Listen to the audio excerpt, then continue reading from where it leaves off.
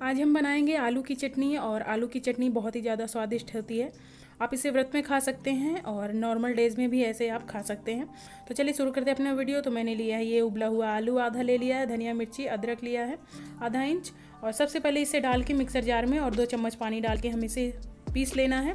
बहुत ज़्यादा पानी नहीं ऐड करना है, वरना ये चटनी ख़राब हो जाएगी। चटनी हमें ऐसी ही चाहिए, देखिए, बिल्कुल ऐसी ही चाहिए। और ज़्यादा आलू को एकदम पेस्ट नहीं बना लेना है उसका थोड़ा थोड़ा आलू। इसमें रहने चाहिए छोटे छोटे पीसेस आलू के। और ये चटनी बन के तैयार है। इसे आप नमक भी डाल सकते हैं इसमें। मैंने व्रत के लिए बनाई तो मैंने इसमें नमक नहीं ऐड कराया क्योंकि मैं व्रत में नमक नहीं खाती। अगर आप खाते हो तो आप इसमें सेंधा नमक डाल दीजिए। और ये चटनी बन के तैयार है। बहुत ही स्वादिष्ट चटनी बनी है। आप एक ट्राई आप एक बार ट्राई ज़रूर कीजिएगा। और आपको सच में बहुत पसंद आएगी।